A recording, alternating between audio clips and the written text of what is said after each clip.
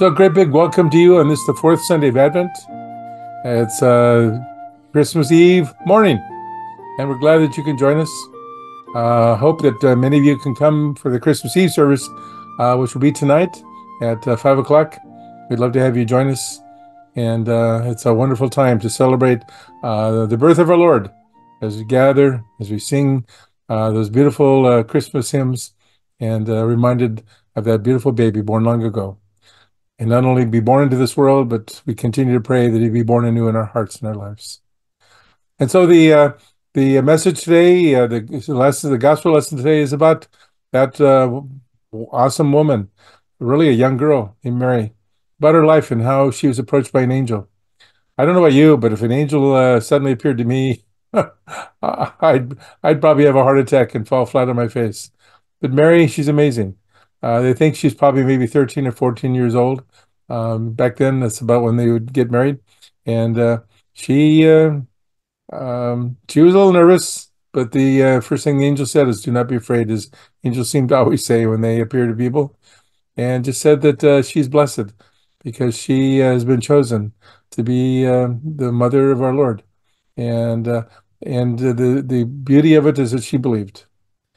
she's an inspiration for us and we're grateful for Mary uh, as she continues to inspire uh, millions down through the centuries of her faithfulness and of her ability to believe and trust in such a marvelous way. So, anyways, I hope that the service uh, this day is uh, helpful for you. I hope it helps uh, prepare your hearts and minds as it does for me uh, as we get ready for that birth of the Christ child. And again, as I mentioned, if you get a chance to come for Christmas Eve service tonight, five o'clock, love to have you. And uh, with that said, let me begin the service now. In the name of the Father, and of the Son, and of the Holy Spirit. Let me continue with the prayer of the day. And so stir up your power, O Lord, and come. With your abundant grace and might, free us. Free us from the sin that would obstruct your mercy, that willingly we may bear your redeeming love to all the world. You live and reign with the Father and the Holy Spirit, one God, now and forever. And all God's people said, Amen. The angel tells Mary that God will give David's throne to her son Jesus. We, who know that Jesus is called King only as he is executed, still find it a mystery. But with Mary today, we bow our heads in thanks and awe. Let us pray. Praise to you, O God, who lives with us, sharing our flesh and bones. As Mary waited and Joseph dreamed, so we dream and wait for you. Bless us and let your face shine upon us, more radiant than these candles, and more dear than all else we seek.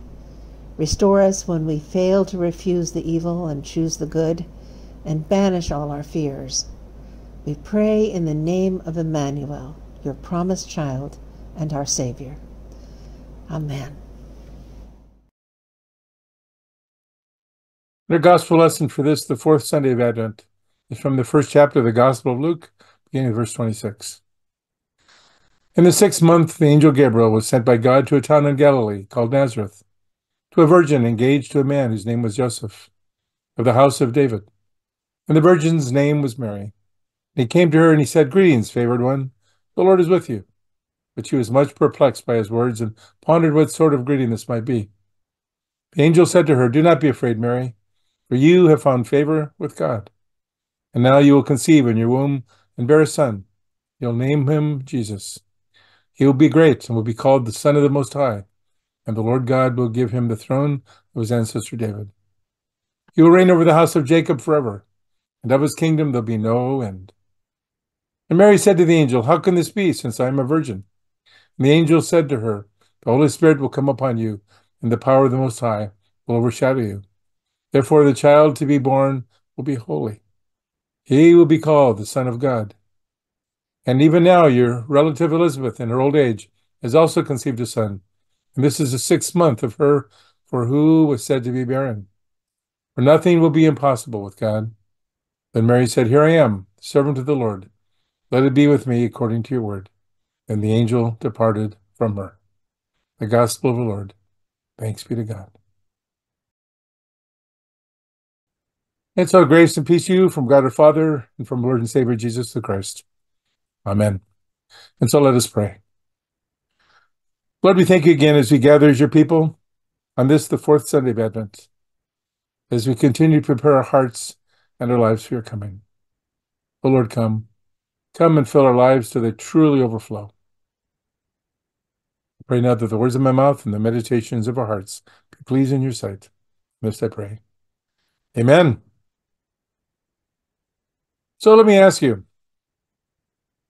have you all finished your Christmas shopping? if not, and it's Sunday morning, you still got a few hours left. I suspect if we take a peek at local malls and nearby stores, we'll see some frenzied shoppers trying to do the last minute bidding. I can't fault them because I I is one. I have been often one of them. I found that I could get so wrapped up in the frenzy of the season that I too would easily miss the importance of the season altogether. I think that's why on this Sunday before Christmas, we need to go right to the heart of the Christmas story. And when we do, I believe we are struck by the utter simplicity of the beautiful Christmas message. And so we begin by saying an angel spoke. You see, long ago in a remote, remote corner of this earth, God broke into our world, and he did that through the voice of an angel. Our story begins today with a young woman named Mary. As was the custom of the day, her parents made all the arrangements for her marriage. At the proper age, she would marry Joseph, the local carpenter. Negotiations negotiations were made between Mary's parents and Joseph's parents, with the couple having no say in the matter. Since Nazareth was a small village, Mary probably knew Joseph. Certainly, I'm sure she had seen him working in his carpenter shop. Well, Mary and Joseph were betrothed to each other. You see, betrothal was for a period of one year and was as binding as a marriage was so official that during this year, if the groom died, the woman would be considered a widow. Well, one day, as Mary was daydreaming about her upcoming marriage, she looked up and saw an angel.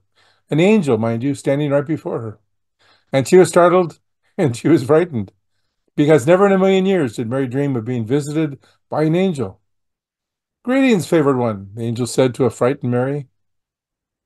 What an unusual way to begin. Favored one? Why? Mary was just an ordinary girl. There was nothing special about Mary. She hadn't come from a wealthy family. She wasn't listed in the society pages of the Nazareth Times. We don't even know her parents' names. No one outside of Nazareth had even heard of her. She was just your average young woman. Well, Mary was perplexed and confused. And I think Gabriel sensed Mary's fear and he tried to comfort her. He said, Do not be afraid, Mary, for you have found favor with God. Mary didn't realize it at the time, but God had chosen her for a very special purpose. The angel went on to say, Now you'll conceive in your womb and bear a son, and you'll name him Jesus. I can only imagine what was going through Mary's mind. This plain, plain, ordinary, simple young girl, wondering, what could all this mean? As she took in the words of the angel in that first Christmas drama. And so we know that an angel spoke. But not only that, a young woman also believed. I think that's the next thing we want to focus on. Mary believed. Mary listened to the angel's words. He will be great, Gabriel told her, and will be called the Son of the Most High. He will reign over the house of Jacob forever, and of his kingdom there will be no end. Although we know very little about Mary and her family, we can assume that she was a devout Jew who had listened and believed the scripture lessons that were read at the local synagogue. Although she was certainly startled by the appearance of an angel, as any of us would have been, his words didn't seem foreign to her. Deep in her heart, she believed that one day the Messiah would come. She has never realized that she would be the chosen one to be the Messiah's mother. A woman by the name of Wendy Wright tells of attending a retreat at a Benedictine mon monastery on the coast of rural Massachusetts. It had been a brisk New England winter with plenty of cold weather and lots of snow. One night as she was leaving the warm retreat house, an old monk burst in. Does anyone, anyone want to see a newborn lamb down at the barn? He asked excitedly. Well, some begged off, saying they had a long drive to make, but only Wendy. Wendy and two others accepted his invitation. So I led them out through the snowy woods to a low wooden lean-to that served as a barn for the community's livestock. Wendy noticed how dark it was, far from nighttime glow of the city. And once inside, it was as if they were in a whole another world. There was one bare light bulb hanging from the rafters, sending uneven rays of illumination over a variety of small farm animals. The warmth of the makeshift barn came from the bodies and breaths of the animal themselves. A strange feeling came over Wendy. Over in the corner was this newborn lamb and its mother. As she stood there, she imagined what it must have been like for Mary when Jesus was born. Mothers today have access to the privacy and hygienic conditions of a birthing room in a modern hospital, along with a staff of trained personnel. Mary, on the other hand, was a young woman far from home and from family. Her birthing room hung heavy with a strong stench of animal debris. Mary would have no health professional to assist her through her labor. And in that setting on a cold New England night, Wendy thought about Jesus' birth many years before. It was a vision that took my breath away, she said. Well, I think the angel's words probably took Mary's breath away as well. She, mind you, she would bear a son. He would rule over the house of Israel. But Mary's response was one of bewilderment. How can this be? she asked the divine messenger. Gabriel reminded her that her cousin Elizabeth was far from past the childbearing age, but she was six months pregnant. And this was God's doing, the angel told her, for nothing, nothing is impossible with God. That's all it took for Mary to be convinced. She believed the angel's message, and the rest, as they say, is history. Well, we have an angel that spoke, young woman believed, and then the world was changed forever. If you and I had been giving God advice some 2,000 years ago, we would surely have said that the last thing the world needs is another baby. Give us a spectacular display in the heavens. Give us satellite television, then we could communicate God's love to the whole world. Give us a few billion dollars, then we could feed the hungry. But another baby? Really? Give us a break, God reminds me of a story of an old absent-minded woman who realizes with horror that she has switched two Christmas gifts and sent them to the wrong people. The thick woolen song, socks that she had made for her poor friend, Hilda, had been sent to her grand, great granddaughter instead. And the lovely lace and satin nightgown she had bought for her granddaughter had been sent to Hilda. The old woman was mortified because her friend Hilda was plain, poor, simple, and unadorned. Such a lovely nightgown would almost seem a mockery of Hilda's plainness. But a few days later, after Christmas, the old woman receives two letters. First is from her granddaughter, thanking her for the fashionable ski socks. The second is from an ecstatically grateful Hilda. You see, no one had ever thought to give her something so beautiful. Hilda writes that she puts on the nightgown and she dances across her rough wooden floor for the first time in her life. She feels pretty.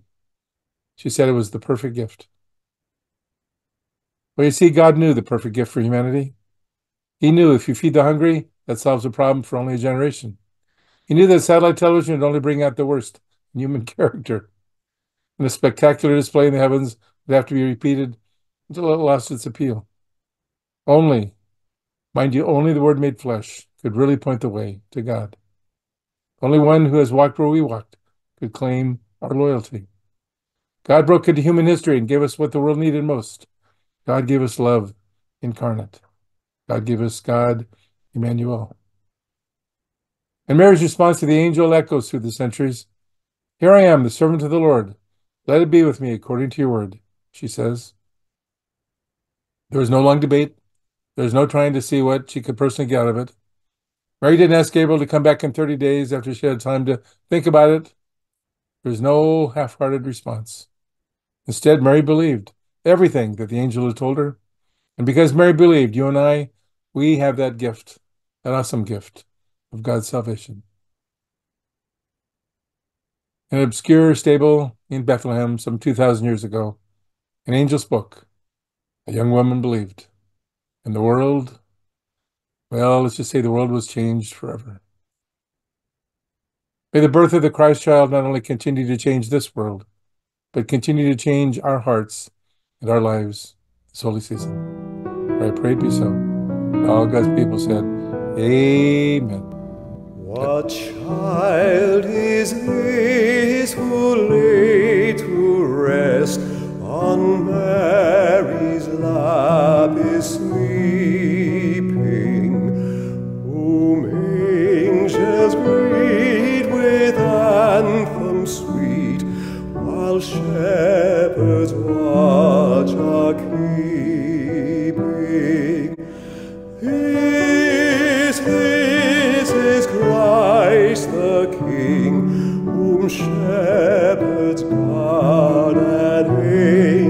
see.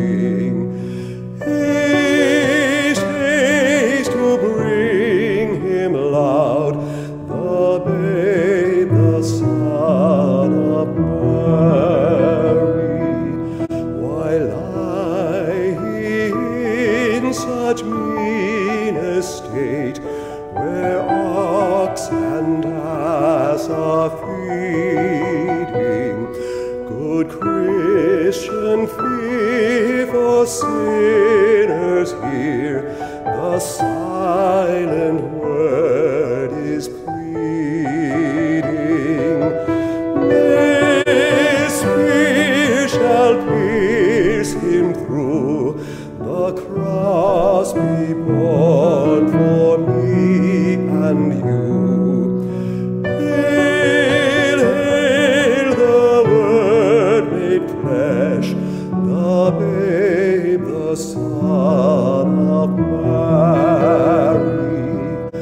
So bring him incense cold.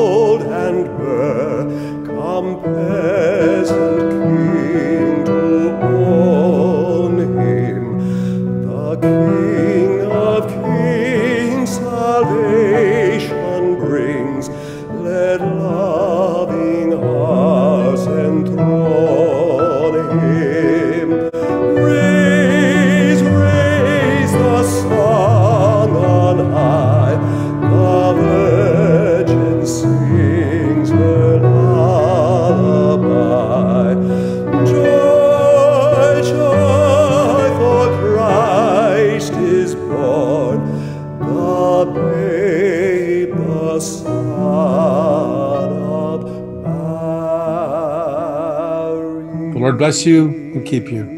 The Lord make his face to shine upon you and be gracious to you. The Lord lift up his countenance upon you and give you his peace. God bless you.